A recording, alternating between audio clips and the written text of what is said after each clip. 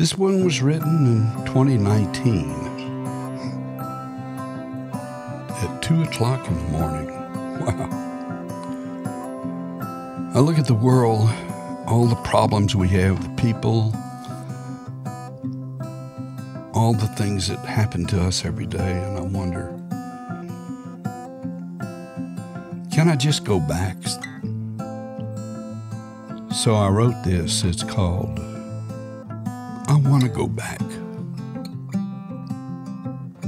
I want to go back to the little dogs and the butterflies and the sweet smelling flowers that were there before I grew up. I want to go back to the lazy days of playing in the green grass where fear was not part of my life. I want to go back to when the rainbows were part of my life and sunshine warmed my soul and where safety meant being in my mother's arms and the world existed with so much love. I want to go back when my life meant playing with others without fear and we were able to play with one another. No color, no race, no religion, no ugly or beauty existed. Only the joy of being and laughing and crying were just part of being here and being alive.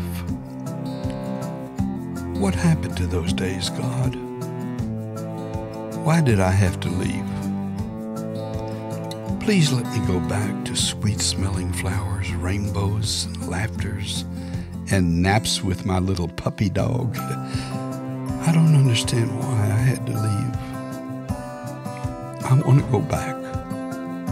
I want to go back. What do I have to do to leave this world of fear and anger and find my mother's arms again around me when all, we all seem to be one?